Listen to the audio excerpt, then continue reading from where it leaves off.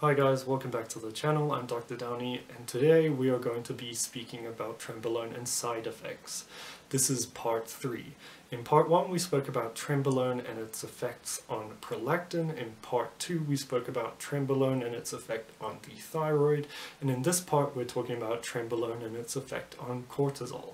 So if you haven't watched the other two, I would recommend watching them before watching this video. So it is commonly known that trenbolone inhibits cortisol release or at least inhibits cortisol's effect on muscle.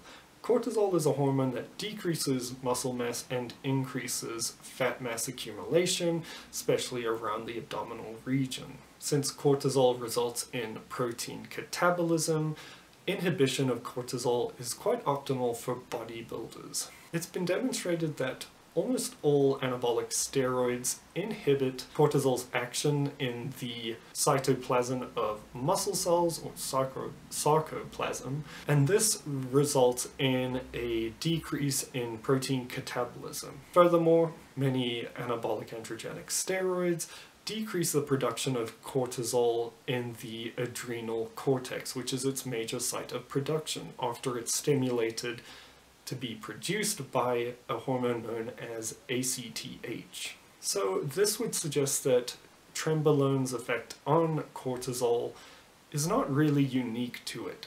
However, it does have a unique effect, and this is a result of its effect on the thyroid. If you watch the previous video, you'll know that trenbolone increases a hormone known as TRH, thyrotropin releasing hormone. In the synthesis of TRH, it has pro-molecules, as well as itself, that inhibit the production of ACTH. Now, as I mentioned previously, ACTH is important for the production in cortisol. So with the decrease of TRH, there's less inhibition of ACTH, which means that technically there should be more cortisol when using trenbolone. On the muscle cells, and the fact that it inhibits part of cortisol's production in the adrenal cortex, this would mean that there would be an overaccumulation of ACTH as it is not doing anything in the adrenal cortex and thus works elsewhere. ACTH isn't only important for cortisol production, it has many other effects. I will display an image above which just gives a brief effects of ACTH. So this could explain why trenbolone also is quite good at lipolysis. Not only does it increase circulating free thyroid hormones, but it also increases ACTH production through the decrease in TRH, which means ACTH production is not being inhibited. With the increase of ACTH, lipolysis increases, insulin uh, increases, and so does leptin. The effects in the adrenal gland might not be as important, although we don't really know at this point what to what extent trenbolone and other steroids block the whole pathway in the adrenal cortex, or if they do it all. It was just an in vitro study, but let's just assume that it doesn't work in the adrenal gland.